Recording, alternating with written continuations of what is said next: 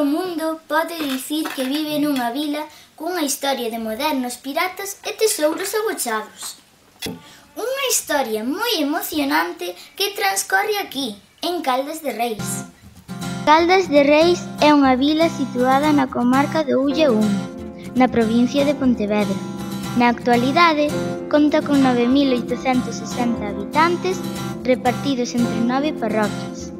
Na vila de Caldas temos dous ríos, unha ponte romana, unha carballeira centenaria, dous balnearios, unhas burgas romanas, pelegríns e máis pelegríns, porque por aquí pasa o camiño portugués. É un tesouro.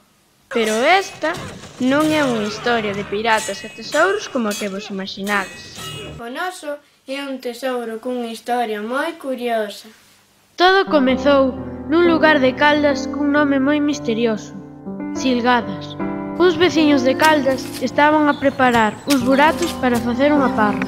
Un deles, Amalio Touceda, atopou restos de ouro na terra onde traballaba.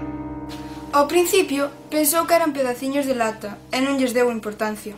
Pero de repente, atopouse cun auténtico tesouro.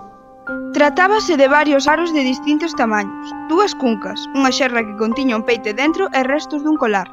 Todas as pezas estaban enganchadas e eran de ouro de máis de 20 quilates. Este tesouro fora enterrado na idade de bronce, aproximadamente no ano 1800 a.C. Seguramente porque tiña moito valor para os seus donos e non querían que caese nas mans de invasores que atacaban o seu territorio.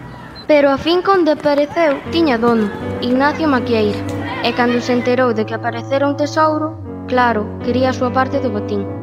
Así que o repartiron entre os dous, a partes iguais, e sen decir nada a ninguén, mantendo en segredo o que aparecera na finca das Silgadas. Tanto Amalio como Ignacio adicáronse a vender partes do tesouro a particulares e xollerías de Vila García de Arousa ou a Coruña, chegando a vender varias pezas en Sevilla e Portugal.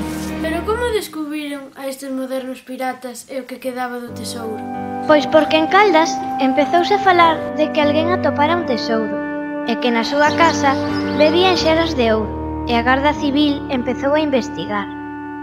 Ademais, os traballadores que estaban ese día na finca e que non recibiran nada do tesouro denunciaron a Amalio e Ignacio. E todos ao cárcere. Conservamos do tesouro case 15 kilos dos 28 que debería haber antes de que vendesen.